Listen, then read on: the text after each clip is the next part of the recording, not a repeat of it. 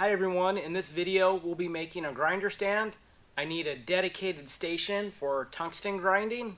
We'll be using an old brake drum, this 3 inch square tubing, a piece of 3 8 plate that I found on eBay, already cut into a circle. It was about $20 delivered. I've had this sitting around for a couple years now. And we'll use some quarter inch plate to mount the grinder to. Let's get started.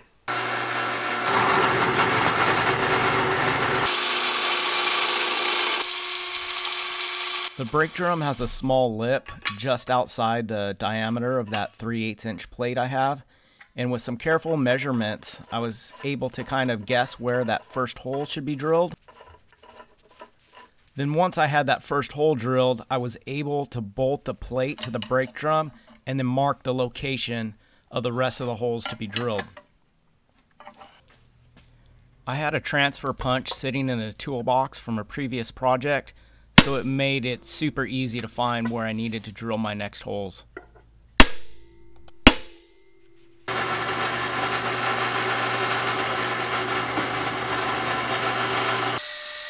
I used a 5 8 inch drill bit to drill the holes in this 3 8 inch plate.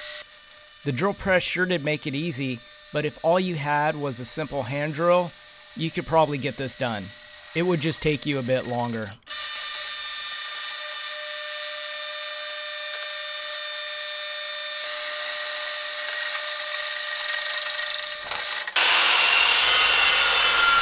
I set up my grinder on the workbench and put some blocks of wood underneath it to figure out the exact height that was comfortable for me. And then I subtracted the thickness of the two plates and the height of the brake drum to figure out the length I needed to cut my 3x3 tubing to.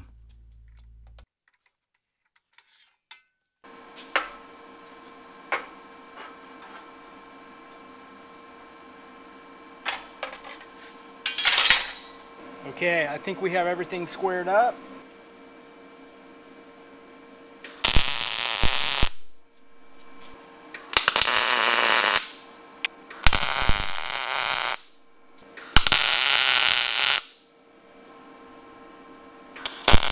This 3x3 tubing is a remnant I picked up at the metal yard. I'm not sure what gauge the metal is, but it's less than an eighth of an inch. I had my welder set up for a much thicker material and I ended up blowing a hole right through in one spot. So I had to go back in and turn the welder down and fix that hole.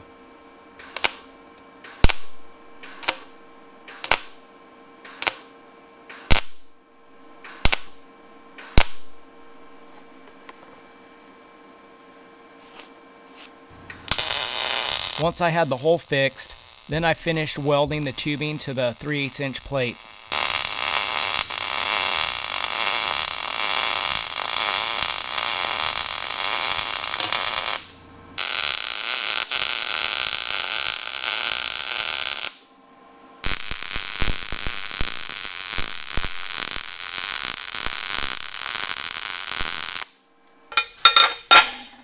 Alright, here's our quarter inch plate that we'll mount the grinder to. We need to drill two holes in it before we weld it onto the stand. This quarter inch plate is another remnant I picked up at the metal yard. But you can find many different sizes on eBay if you just want to have it shipped directly to your house. You might pay a little more, but it's much more convenient.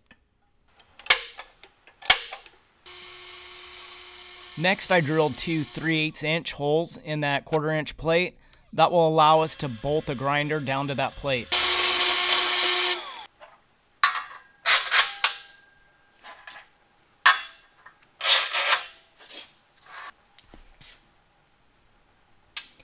Here I'm placing a few magnetized spacers on the face of my welding table.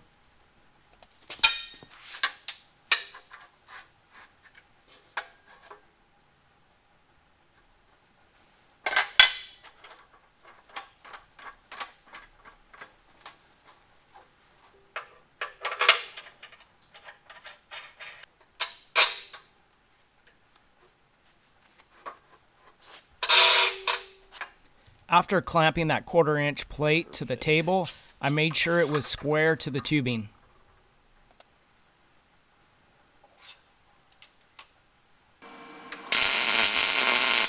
Next, I made sure that all four corners of the tubing had solid tacks before I made any longer welds.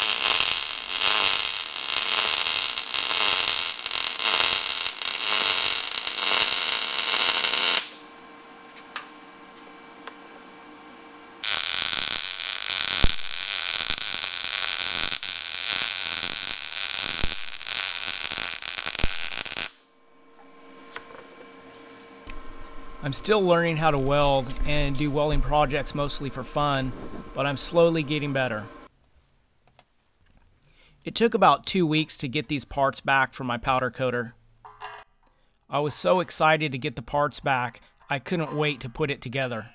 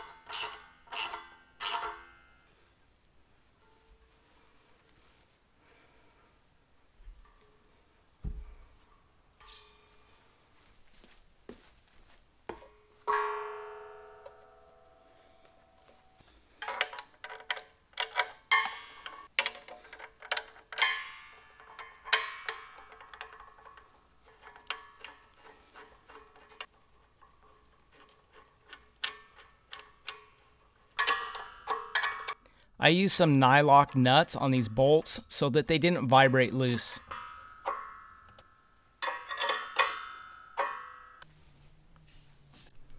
I'm really happy with how my grinder stand turned out. The initial build only took me about an hour, and overall it was a pretty simple and fun welding project. Don't forget to subscribe so you don't miss any upcoming videos, and thanks for watching.